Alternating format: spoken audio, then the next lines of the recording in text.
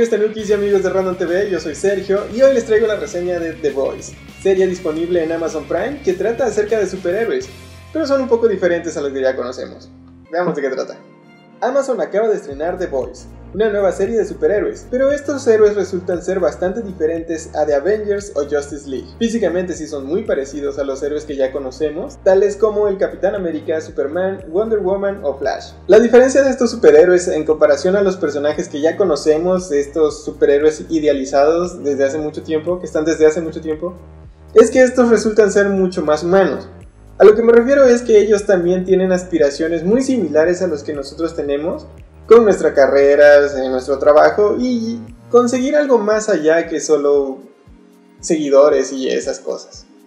La historia nos centra en un mundo actual, en el que los humanos mortales comunes y corrientes viven su día a día en compañía de superhumanos, donde estos tienen que ir al trabajo, de fiesta y disfrutar con sus amigos. Dentro de toda esta sociedad hay una élite de superhéroes. Se trata de The Seven, un grupo de superhéroes muy importantes que se encargan de mantener la paz dentro de la sociedad americana. Desde el primer capítulo nos damos cuenta de que los héroes no son en realidad tan buenos como los pintan, ya que la mayoría de ellos son egocéntricos y solo se preocupan por ellos mismos. Salvar personas es algo que hacen nada más por seguir siendo idolatrados y admirados, y por supuesto para sacar dinero de ello.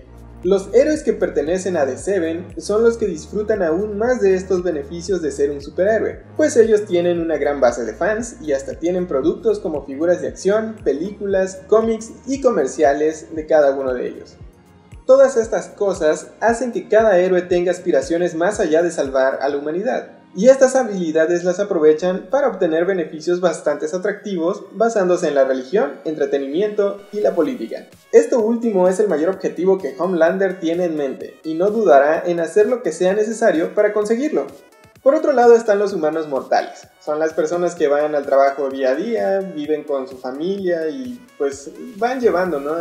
Aspiran a conocer algún día a sus superhéroes favoritos pero también hay personas que a causa de estos héroes salen lastimadas. O sea, nunca te has preguntado qué pasa cuando estos héroes rompen un edificio. Es decir, cuántas personas mueren ahí y sobre todo qué pasa con los familiares que pierden a las personas que mueren ahí. Es ahí donde aparece un grupo de humanos que tienen este problema en común. Se trata de The Boys, pequeña agrupación que está decidida a tomar justicia en contra de los despreocupados héroes. Ellos han tenido que pasar por lamentables pérdidas y nunca han recibido la justicia que deberían. Pues el gobierno protege a los héroes y no los pueden arrestar ni hacer nada en contra de ellos. Es decir, ¿qué es la muerte de un familiar tuyo en comparación de toda una ciudad? Seamos sinceros, a todos nos encantaría tener las habilidades de nuestro superhéroe favorito al menos una vez o incluso por un día en nuestra mortal vida. Y de ser así, ¿para qué usarías estas habilidades? ¿Te pasarías el día salvando vidas de personas que nunca has conocido? Claro que no. Seguramente estarías haciendo travesuras, volando o corriendo por todo el mundo y siendo la persona más feliz de la Tierra. Lo que menos te importaría es salvar personas. Eso mismo pasa con estos personajes. Ok, sí, en algún punto tendrías que salvar la vida de alguien, pero seguramente le sacarías mucho provecho a estas habilidades. Digo, yo sin dudarlo lo haría. Pues bien, te repito una vez más, te recomiendo que veas la serie, dale una oportunidad, está muy interesante, es muy entretenida, ya que si no te haces fan, por lo menos vas a pasar un buen rato para ahí distrayéndote en algo, algo diferente a lo que ya hemos estado recibiendo últimamente, así que dale una checada, los efectos son muy buenos, la música es bastante buena también, y es una historia interesante, chécala, a ver si te gusta. Hasta aquí este video, nos vemos la próxima y que la pases muy bien. Bye.